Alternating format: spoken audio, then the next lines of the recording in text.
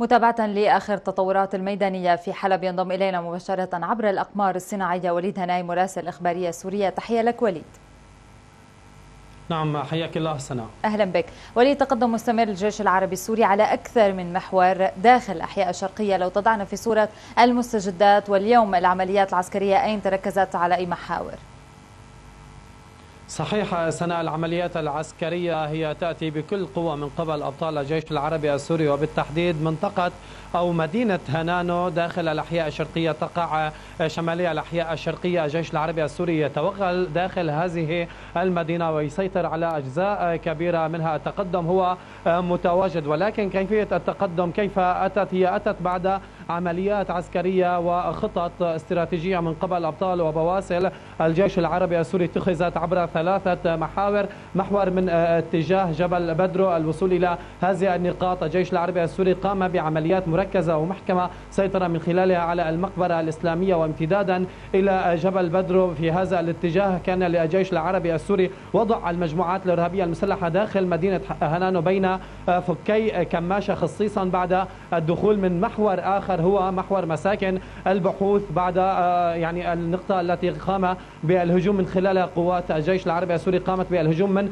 قرية كفر صغير امتدادا إلى الأرض الحمراء والسيطرة على أجزاء كبيرة منها. ومن ثم وصولا إلى مشارف الوصول إلى مساكن البحوث. أيضا المحور الثالث الجيش عمل من خلاله باتجاه مساكن هنانو أو باتجاه الأحياء الشرقية. إن صح التعبير أتى من خلال دوار بعيدين ومنطقة بعيدين العمليات التي تجري هنالك تضغط من خلال قواتنا المسلحة على الإرهابيين بعد كسر تحصيناتهم داخل مدينة هنانو. الجيش بات داخل هذه المدينة ومستمرا في عمليات التوغل والتقدم والضربات المركزة تأتي باتجاه معاقل الإرهابيين. على طول الأحياء الشرقية من مدينة حلب. وهنا نتحدث بأن الجيش قطع مسافات طويلة حتى وصل إلى مشارف مساكن هنانو أي منها السيطرة على أجزاء من الأرض الحمراء وامتدادا إلى المقبرة الإسلامية ووصولا إلى عدد من الكتل داخل جبل بدر. هذه المنطقة المحاذية تماما لمنطقة الحيدرية وامتدادا أيضا إلى مساكن هنانو. إذا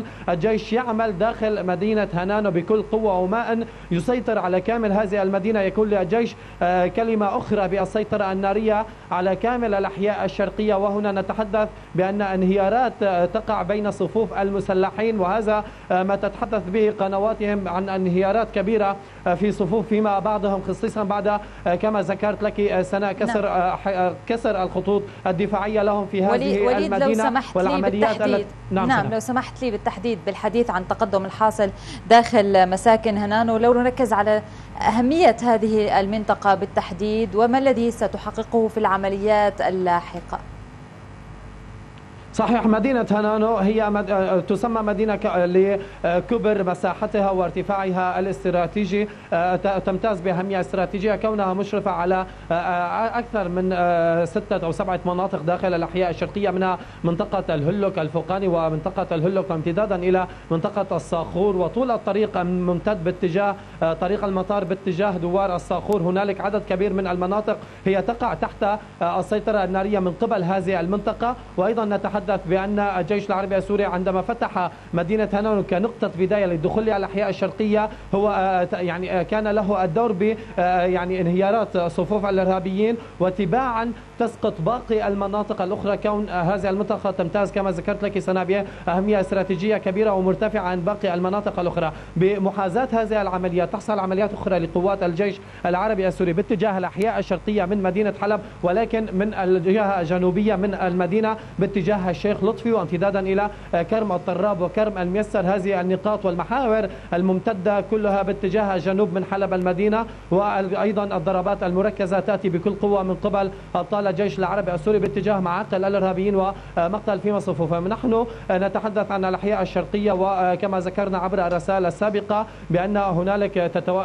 يعني يحصل تواجد للمدنيين داخل الأحياء الشرقية ولكن مدينة هنانو لن يكون لأي أي تواجد تواجد للمدنيين داخل هذه المدينة أي بأن الجيش العربي السوري عند دخولها هذه المدينة لن يكون هنالك أي من المدنيين ولكن على خلفية الحصار الذي أطبق على المدنيين داخل الأحياء الشرقية من قبل الإرهابيين كان هنالك عدد من المدنيين قد وصلوا إلى المعابر وصلوا إلى نقاط الجيش العربي السوري وتم تأمينهم وإيصالهم إلى الأحياء الآمنة الأحياء الغربية من مدينة حلب أيضا الجيش العربي السوري يعمل كما تحدث لك من دوار بعيدين باتجاه باقي الأحياء نعم. الشرقية وهنا كما ذكرت بأن الأحياء الشرقية بما أن يسيطر الجيش العربي السوري على مدينة هنانو تسقط باقي الأحياء تباعا خصيصا أيضا مع العمليات التي تحصل من الجنوب باتجاه أيضا منطقة الشيخ سعيد. هذه منطقة هي استراتيجية أيضا الجيش عمل عليها في وقت سابق عبر رميات وضربات مركزة يميز تماما بين تواجد المدنيين والمسلحين داخل تلك الأحياء الشرقية. الضربات أتت بكل قوة باتجاه معاقل الإرهابيين وهذه المنطقة أيضا تمتاز بأهمية استراتيجية كونها تدخل في عمق الإرهابيين وتفصل فيما أوصلهم داخل الأحياء الشرقية تعزل منطقة صلاح الدين وامتدادا نعم. إلى العامرية والمشهد من جهة وتعزل بين منطقة السكري وعدد من المناطق الأخرى من جهة أخرى إذا الجيش يعمل على حرب تفريق المجموعات الإرهابية المسلحة داخل الأحياء الشرقية وعزلها ناريا ومن ثم السيطرة على مساحات جغرافية داخل هذه الأحياء الشرقية نعم. هذا فيما يخص الأحياء الشرقية أما إذا ما تحدثنا عن المحور الآخر الذي يعمل عليها الجيش العربي السوري بكل قوة هو شمال الشرق من مدينة حلب والسيطرة على مساحة هي حوالي 120 كيلو متر مربع مساحة كبيرة جدا. الجيش العربي السوري اتبع كافة الخطط باتجاه هذه النقاط. طبعا بمؤازرة الحلفاء والقوات الرديفة كان لهم دور بالدخول والسيطرة على عدد من القرى منها تل إشعير ووصولا إلى قرى حليصة وعدد من النقاط الأخرى. كنا اليوم بجولة عبر تقرير مفصل للإخبارية السورية ورصدنا واقع مساحة كبيرة من شمال الشرق لمدينة حلب باتجاه باتجاه مدينة الباب. الغاية من هذه العمليات هي بالمرحلة الأولى التصدي للعدوان أو التصدي للغزو التركي القوات التركية باتجاه الأراضي السورية وإيقافهم عند حدودهم من قبل قوات الجيش العربي السوري. أيضا الأهمية الأكبر من ذلك إيصال قواتنا قوات المسلحة باتجاه مدينة الباب. وتلك أيضا المدينة هي باتت على مشارفها قواتنا.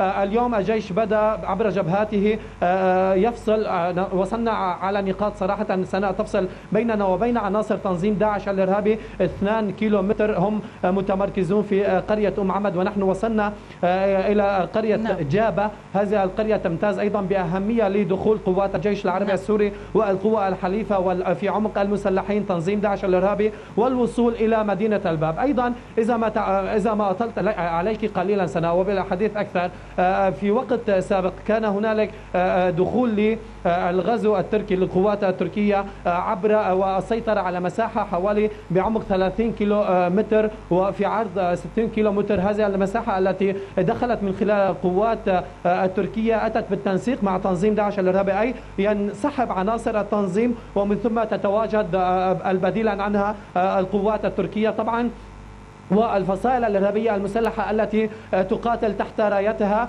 نعم. إذا حرب باتت معروفة لكل الجميع بأن باقي الفصائل المسلحة التي تحارب داخل الأحياء الشرقية هي ذاتها مع تسمياتها صراحة سناء يعني سواء كان على صعيد حركة نور الدين الزنكي جبهة النصرة حركة أحرار الشام وغيرها من الفصائل الأخرى هي أيضا تقاتل تحت راية القوات التركية والتي يعني تدعم من خلالهم بشكل مباشر أما القوات أو الفصائل الإرهابية المسلحة التي تقاتل على أطراف مدينة حلب وداخل الأحياء الشرقية من مدينة حلب فكانوا يتلقون الدعم بطريقة غير مباشرة من قبل الجانب التركي نعم. آه، وهنا بأن الجيش عندما قام بفتح عملية الشمال الشرق من مدينة حلب باتجاه آه، مدينة الباب الغاية من آه، هذا الموضوع. من هذه العملية هي إيقاف وتصدي للغزو نعم. التركي باتجاه الأراضي السورية. أشكرك نعم جزيل الشكر وليد هناي مراسل الإخبارية السورية في حلب. سوف نكون معكم فور ورود أي جديد. شكرا لك.